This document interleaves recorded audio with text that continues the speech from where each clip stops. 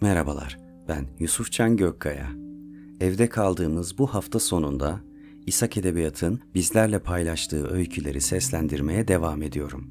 Hüseyin Kılıç'ın Şimdi Karşıya Geçebilirsiniz isimli öyküsüne gelin bu akşam birlikte konuk olalım. Keyifli dinlemeler. Bilmezdim kırmızının bu kadar uzun, yeşilinse kısacık yandığını bu derde düşmeden önce.'' Ne demek istediğimi anlamadınız değil mi? Zuhal'i, Lale'yi, Selim'i, Osman'ı tanımıyorsunuz da ondan. Problem değil. Şimdi dilim döndüğünce hepsini anlatacağım. Ya da bir kısmını. Bakalım. Duyup duyacağınız, okuyup okuyacağınız, görüp göreceğiniz en garip aşk hikayesi olabilir bu. Yaşayıp yaşayacağınız. Hiç sanmıyorum. Bir varmış, Zuhal Lale, bir yokmuş, Selim, Osman, kombinasyonlar değişebilir. Değişiklikler haber vermeden yapılabilir. Evvel zaman içinde, bundan iki yıl önce, kalbur zaman içinde, durun, bırakmayın okumayı. Sadece modern zaman masalı nasıl anlatılır bilmediğim için bu safsaklığım. Dilim zor dönüyor zaten ama konumuz o değil. Hikayenin sonunda bundan bahsederim belki. En iyisi doğrudan konuya gireyim. Lale'yi tanımadığınızı söylemiştim ya hani. Hakkında hiçbir fikriniz yoktu. En azından bir kısmınızın. Aslında eğer güçlü banka müşterisiyseniz en az bir kere arayıp bir derdinizi anlatmaya çalışmışsınızdır. Müşteri temsilcisine ulaşana kadar da sizi oyalayan o band kaydına ya da band kadına kızmışsınızdır illaki. İşte o kızdığınız kadın bizim Lale. Ne kadar kızsanız haklısınız. Lale güzelce bir kızımız. Sesi kendinden güzel. İki yaşından bu yana şarkı söylüyorum gillerden. Konservatuar mezunu. Tiyatro yapıyor, şarkı söylüyor, seslendirme yapıyor. Ekmek neredeyse oraya gidiyor. Çalışkan yani. Ama bir kusuru var. Sürekli başkalarının kusurunu arıyor. O mağrur, şehla, yeşil gözleri. Kendi açıklarına ise gözleri, kulakları ve özellikle burunları kapalı. Evet, arkasından yaz kış çok terlediği konuşuluyor ama o bunun hiç farkında değil. Neyse, arkasından çok konuşmayalım. Ne de olsa Osman'ın eski sevgilisi. Bizim düz Osman, mühendis. Kendisi de şaşırmıştı Lale'nin onu nasıl beğendiğine. Bir tiyatro oyunu sonrasında öylesine fotoğraf çektirmiş. Öylesine Lale'yi etiketlemiş. Öylesine övgüler dizmişti.'' Şimdi anlatırken Allah bir daha çektirmesin diyor ama başta ağzı kulaklarına varıyor. Arada sırada önce Lale'yi öpüp içinden Allah Allah diye merak ediyordu bu kızın ona niye baktığını. Osman çok geçmeden Lale'nin kendisinden başkasını görmediğini, duymadığını, hep övülmek istediğini ama kusurlarını duymak istememesi bir yana sürekli başkalarının ve tabii ki onun da açıklarını aradığını fark etti de bir yılı devirmek üzerelerken öylesine bir daha bulamayacağını bile bile sorunun kendisinde olduğunu söyleyip ayrıldı Lale'den. Sonra ne yaptı? İki ay boyunca her gün Güçlü Banka'nın 444'lü numarasını arayıp önce 3'e, sonra 5'e, sonra 2'ye bastı. Lale'yi aramadı ama her gün Lale ile konuştu. Sonra ne oldu? Hayat gailesi işte.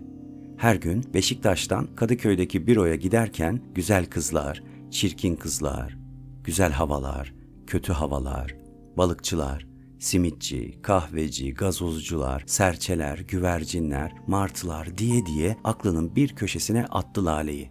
Ama yine de arayıp sesini duymaktan tam olarak vazgeçemedi. Lale ise en son patronun yeğeninin hastalığını bilmeden çok kaytardığını söyleyince tüm işlerin geçici olduğunu bir kez daha anlayıp bundan sonraki işlerinde daha dikkatli gözlemler yapmaya karar verdi ve sanırım İstanbul'dan taşındı. Bu arada sesi hala Güçlü Banka'nın çağrı merkezinde yankılanmaya devam ediyor. Selim'i de tanımadığınızı söylemiştim ya, aslında onun sesini de duyanlarınız vardır, eminim.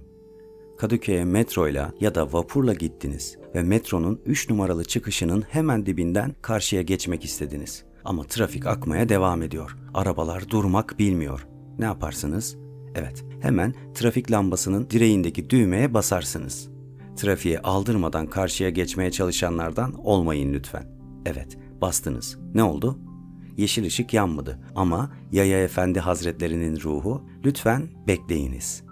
Lütfen bekleyiniz demeye başladı ve siz uysal bir şekilde lütfen beklerken bir anda bir mucize olmuş gibi ses. Şimdi karşıya geçebilirsiniz. Şimdi karşıya geçebilirsiniz deyince hipnotize olmuş gibi karşıya geçtiniz. İşte o ses var ya o ses. Selim'in sesi. Belediyenin trafik lambalarına sesli uyarı projesinde ihaleyi alan firmanın muhasebecisi Selim. Patron gel bakalım deyip söylediklerini kaydettiğinde çok eğlenmişti ama İstanbul'un olduk olmadık yerlerindeki ışıklarında kendi sesini duymaktan sıkıldı sonradan. Artık kimseye sesim güzeldir demiyor. Selim'in anlatılacak birçok özelliği olabilir. Gözünüzde canlandırmanız için yapışık kulaklarından, gülerken sağ gözünün altında oluşan tikin ona garip bir hava verdiğini, sol elindeki derin kesik izinin çocukken yaptığı bir kavgadan olduğunu, marka giyinmeyi sevdiğini, avcı olduğu için gözlerinin ve kulaklarının çok keskin olduğunu söyleyebilirim. Ama bunlara gerek var mı bilmiyorum. Bazen Selim sadece Selim. Konuyu dağıtmayalım değil mi? Selim, Zuhal'in nişanlısıydı. Zuhal'i bilmezsiniz ama yine de kısacık kariyerinde her ay başka bir mağazada gün boyu ayakta satış görevlisi olarak tezgahtar değil aman ha olarak çalıştığı için Kadıköy'de karşılaşmış olma ihtimaliniz yüksek. Her satış personeli gibi o da konuşmayı sever, karşısındakini ikna etmek mesleki bir refleks olarak hoşuma gider. Ama Selim'i bir türlü ikna edemedi.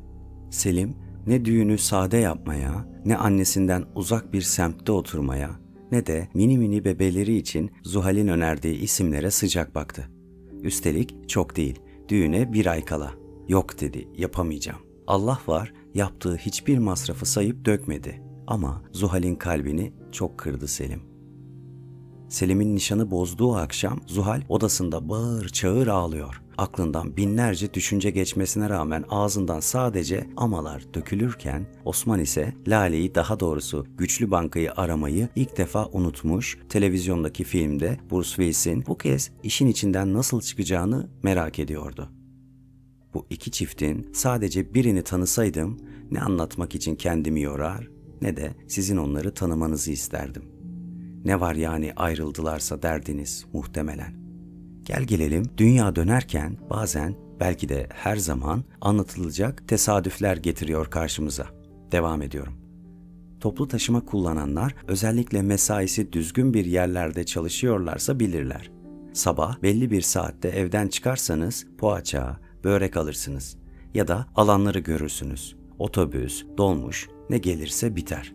Özellikle İstanbul'da kaç vesait gerekiyorsa tüm aktarmaları yaptıktan sonra iş yerine varırsınız.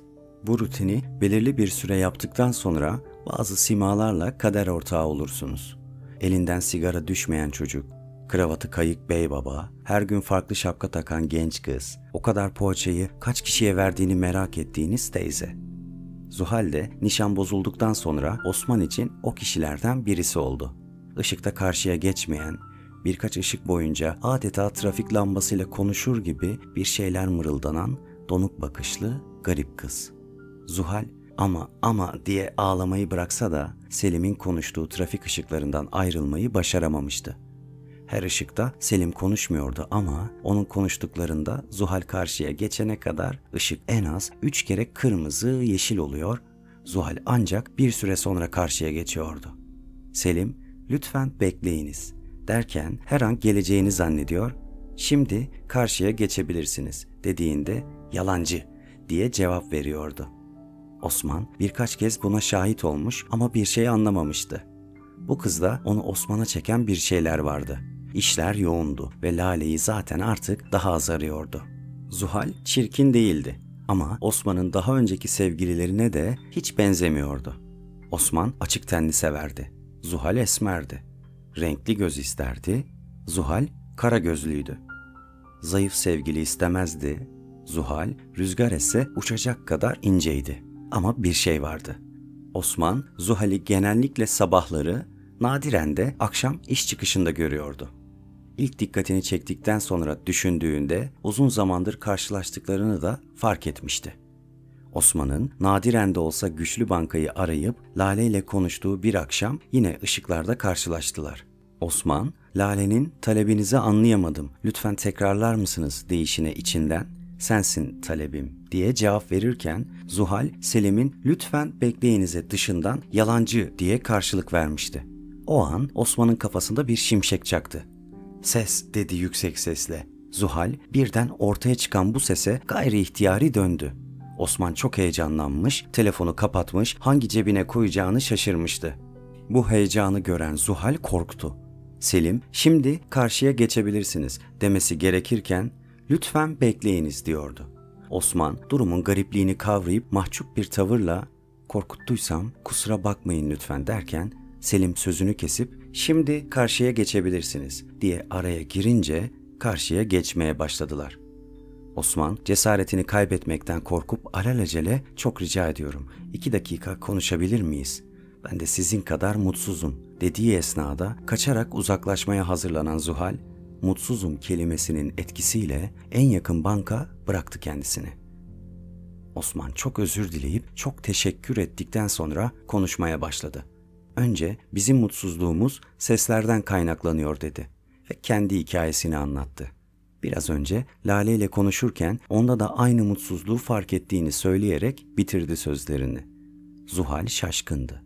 Biraz düşününce Osman'a hak verip kendi hikayesini anlattı. Bu sesler olmasa çoktan hayatlarına devam etmiş olacaklardı. Sesleri duymamak en iyisiydi. Osman'ın işi daha kolaydı tabii. Aramazdı, olur biterdi. Yine de ikisi de karşılarındaki tanımadıkları yabancıya sesi unutup mutlu olacaklarına dair söz verdiler. O akşam öylece bitse de ekmek parası peşinde işe gidip geldikleri için karşılaşmaya devam ediyor, mahcup başlarını gülümseyerek eğiyorlardı. Osman güçlü bankayı aramıyor, Zuhal ışık hızıyla karşıya geçiyordu. Karşılaştıkları bir akşam Osman cesaret edip çay içelim mi dedi Selim'in sesini bastırarak. Zuhal artık güvendiği bu yabancının teklifini gizleyemediği bir sevinçle kabul etti. O günün üzerinden 8 ay geçti ve işte bugün de nişanlanıyorlar. Onlar ermiş muratlarına, biz çıkalım kerevetlerine deniliyordu değil mi? Bu hikayeyi kimseye anlatmayıp bir arkadaşlarının tanıştırdığını söylediler herkese. Benim bildiğimin de farkında değiller. O yüzden isimlerini de değiştirerek anlattım zaten. Ben mi kimim? Belki benle de karşılaşan vardır aranızda. Belki biriniz bana bir gün simit atmıştır adalar vapurunun güvertesinden. Ama eğer şu gagamdaki iğnenin sebebi balıkçı aranızdaysa sakın karşıma çıkmasın. Canım çok acıyor onun yüzünden. Ben çoğunlukla Kadıköy Beşiktaş arasında gidip gelen o martılardan biriyim. Uçarken nelerle karşılaşıyorum bir bilseniz. Lakin bir martının hikaye anlatması dahil Osmanlı Zuhal'in hikayesi kadar ilginç bir hikaye zor bulunur diye bunları size anlatma ihtiyacı hatta zorunluluğu hissettim. Baştaki şiir mi? Onu da Zuhal ışıklarda beklerken kendi kendine söylenip duruyordu. Kendi yazmış galiba. Garip bir şey ama hoşuma gitti. Anlatmaya onunla başlamak istedim.